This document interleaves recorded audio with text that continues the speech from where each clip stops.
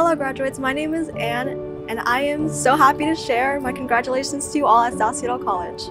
During my two years at South, I had the opportunity to serve on student government roles like marketing officer, peer mentor, business tutor, and so much more. I'm a very shy and closed off person, and at times it was a challenge opening up to the community, but looking back, I don't have any regrets. I've met and worked with so many creative minds. I've done what I thought I never could do, and I found my passions through it all and that's thanks to the Otter community. I'm honored to be representing Seattle College and the amazing achievements every single student here has done. My time here at South has been truly inspiring to see fellow classmates reach out and ask for help during difficult situations and showing interest in their passions. It's those moments that make me realize what a special community we all have.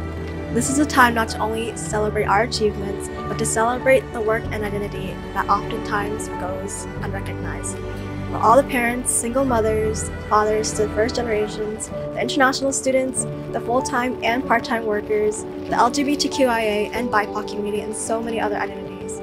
I couldn't be more proud. Congratulations to the class of 2022.